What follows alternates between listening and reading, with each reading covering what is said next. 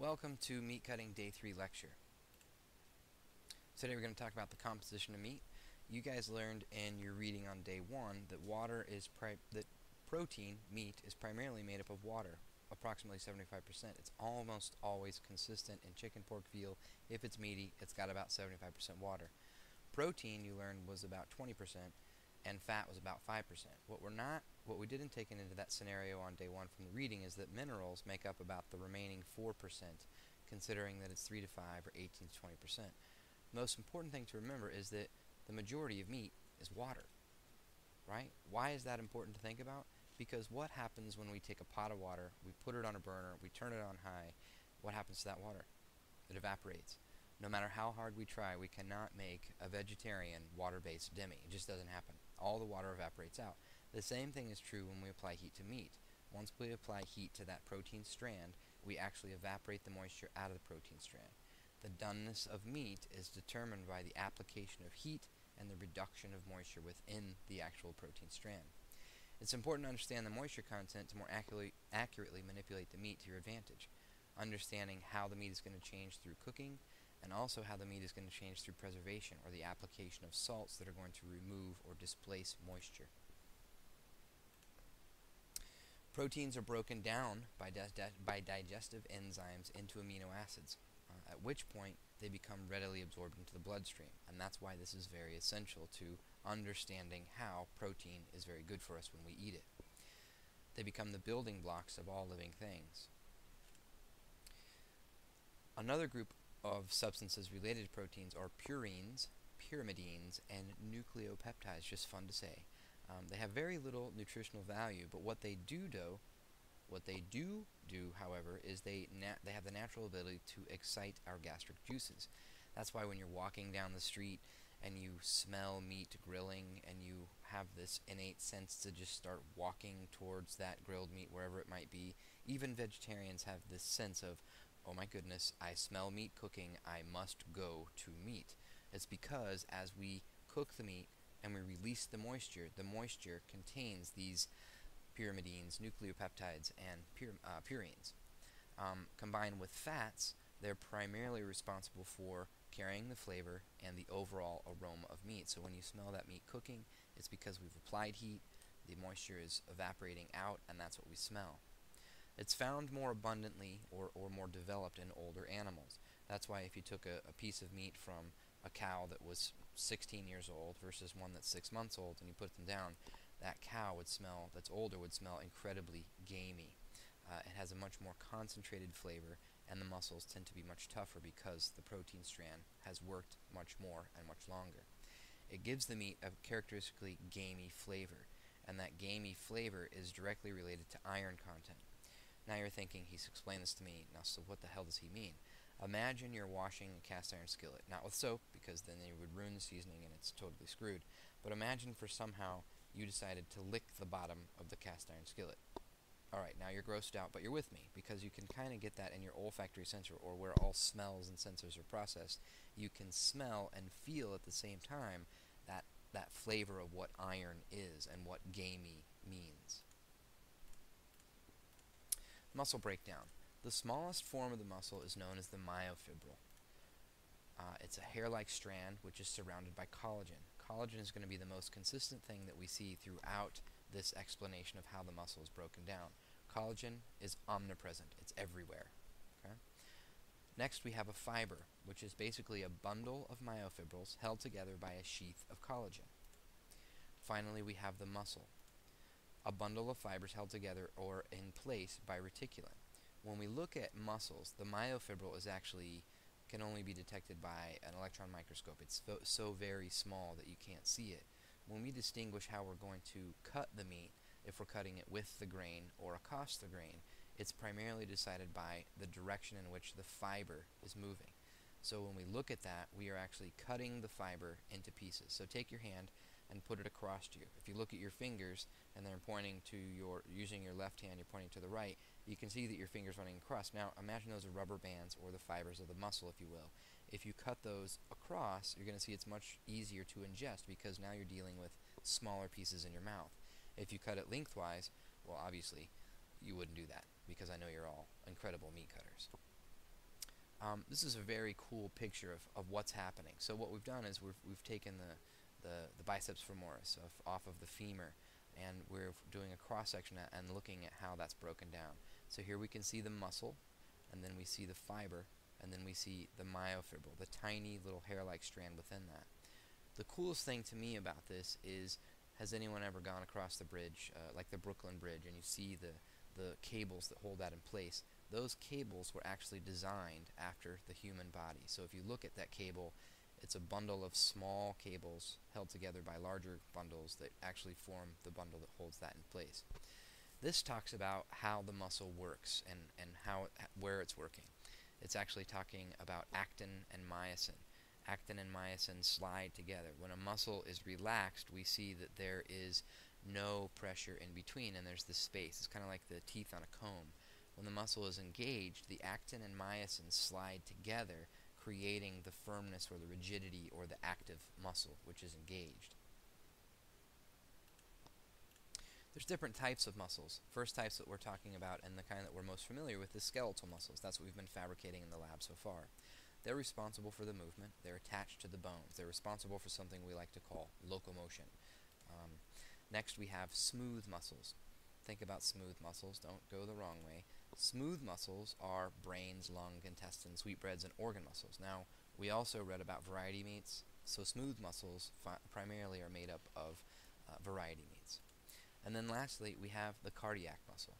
Cardiac muscle is by far the most amazing muscle in any living animal. Um, the heart muscle has its own system of electrical stimulant. It actually has two that are on there. We've all heard about the defibrillation. We've seen it on some sort of emergency show where they're jamming this thing on the heart and they're they're causing it to to uh, pounce and causing it to move. And what's actually happening in that scenario is they're actually stopping the heart because when the heart goes into ventricular fibrillation, all four chambers are firing at once.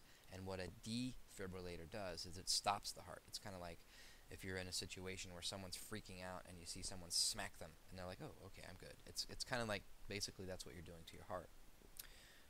And here we see a different picture of those muscles. So here we have a great picture of skeletal muscles and all the muscles that we've been talking about in class while we're stretching. Uh, we see the brain, which is a smooth muscle. We see the kidneys, which are also a smooth muscle. Um, we see some organ meat or some liver here and then you know just wanted to give you a nice picture of the heart. So there's a, a living heart that's inside someone's chest cavity. Fat is not flavor. It is the carrier of flavor. Despite what you've been told despite any of those fancy shows that you've seen fat is not flavor. If we did a vertical tasting of fat say that we took uh, three different kinds of animals we rendered the fat we then did a tasting it would taste oddly enough like fat so let's say for against that, that we took that, we had those three vats of fat that we then put one garlic, and then in the other we put rosemary, and another one we put black peppercorns, and we brought that up to about 90 degrees, and we let those flavors infuse into the fat. And then what you would taste is the dramatic representation of those particular flavors that we put into the fat. The reason behind what's happening here is when we look at a fat cell, a fat cell is basically a little hollow bubble, and that hollow bubble is very uh, absorbent of flavor, and it's going to carry the flavor. Where it becomes important to us is in how the fat is distributed within the interior of the muscle. There are three types of fat that we're going to discuss. The first one is subcutaneous. Uh, it's found on the exterior of the muscle. Subcutaneous means just underneath the skin. The second kind is called intermuscular, and it's found on the interior of the muscles, and this is the one that we're primarily concerned with. It's called marbling. It's what's going to distinguish the overall quality and therefore give it a grade. Good marbling will look like evenly drawn white lines. Uh, it's going to look like someone took a, a pencil, like a white colored pencil, and has just drawn little bitty white lines in between that. If you look at Kobe beef, it's the best example of incredible marbling. If you were massaged and sake and sang to and, and treated like a royalty, you would develop amazing marbling as well. We're not going to eat you, but just thinking about that. The grading of meat is based on how evenly distributed that fat is in the interior of the meat. The more evenly distributed the fat is, the more moist the meat will be, and the more texturally advantageous that meat will be as well. What's happening is, we talked about the myofibril being the smallest form of the muscle. We talked about how fat, we want it to be equally distributed on the interior of the muscle. Once that fat is evenly distributed, we want to see how it's going to act when we apply heat to that. What we know about animal fat is that it's saturated fat. We know this because it's solid at room temperature.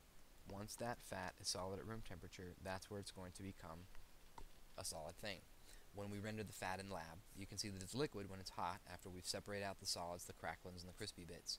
And then we put it in the fridge, you come back the next day, and it's hard as a brick. That's a good example of saturated fat. As heat is applied to the meat, the fat is liquefied, and we saw that through the rendering process. We took it from a solid state, we took it to a liquid state. What's happening is that fat, the more evenly distributed it is throughout the interior of the muscle, the better lubricant it will become. It all boils down to lubrication, the secret of life. So the more evenly distributed that fat is on the interior of the muscle, once the heat is applied, it's going to become a lubricant to the myofibril. And that's why it's important to understand the smallest form of the muscle up to the muscle itself.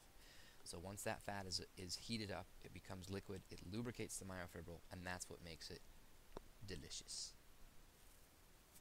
Bad marbling will look like a large pocket of fat, unevenly distributed, and usually appears in one section of the muscle. So when we look at this prime, you can see those beautiful striations of fat. It has a decent amount of fat on the outside, but you're going to see primarily a good even distribution of fat on the inside.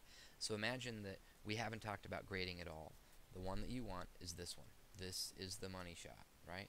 Over here, as we go from prime to choice to select, you're going to see, excuse me, that that fat becomes less evenly distributed and the quality becomes less advantageous. Another kind of fat is KHP fat. And KHP fat is actually called kidney, heart, and pelvic fat. Kidney, heart, and pelvic fat is found, as you might imagine, in the kidney, heart, and pelvic area. What this is, when we looked at chickens, we talked about removal of the abdominal cavity fat. And this is essentially what this fat is. It's the fat that surrounds the organs and protects them from slamming into your bones. Uh, it also determines the quality of life once led by the animal.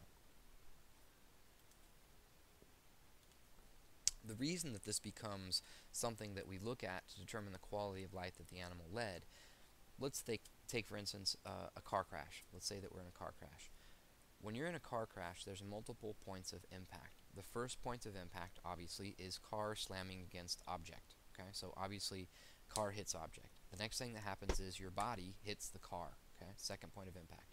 The third point of impact, and the most deadly, most detrimental, is the point of impact at which your internal organs slam against the, the, the bones in your body. Um, so th that's the primary reason that that's there. Now you're wondering, he's told me this, what the hell does he have to do with the quality of life that the animal led? Generally, when you get whole carcass animals, because you're all going to be working with local farmers to get the best meat that you can, you want to ask for something called the gut bag. It's just fun to ask for. In that bag, you want to extract the heart. The heart is delicious. You're going to prepare it in meaningful and delicious ways. But what you want to look at primarily is how the fat is distributed on the exterior of that heart. If you find a very thick, concentrated amount of fat, that's going to be indicative of an animal that was primarily grain fed. Uh, very little grass feeding has gone into that animal, therefore, the meat is going to be less nutritious and not as delicious. When you see a heart that has very little fat and sometimes no fat at all, that's a sign of an animal which has been malnourished that meat is going to be tough and mealy and also lack a nutritional value. What you want to see is a very thin coating of evenly distributed fat that surrounds the heart and is uniform in distribution. Also know that fat provides energy for muscles, so when we see it on the exterior of a chunk of muscles, we have to understand what that fat is doing. That fat is giving energy to the muscle at a specific location. And that ends our fatty discussion. Have a great night. Bye-bye.